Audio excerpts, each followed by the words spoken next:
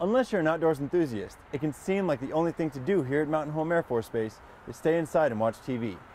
All of that changed recently with the addition and improvement of some new facilities. You can now work out with the light of Broden shining down from the gym's new LED lights. Enjoy chest day with new weights, leg day with the new rubberized floor, cardio on the resurfaced track, and come out squeaky clean with renovated showers. Children can also get a great workout at the Gunfighter Kids Gym. I do this all the time. And parents can relax and watch their kids work out with coffee and free Wi-Fi. Of course, no week is complete without a free movie at the Gunfighter Theater. See you at the show.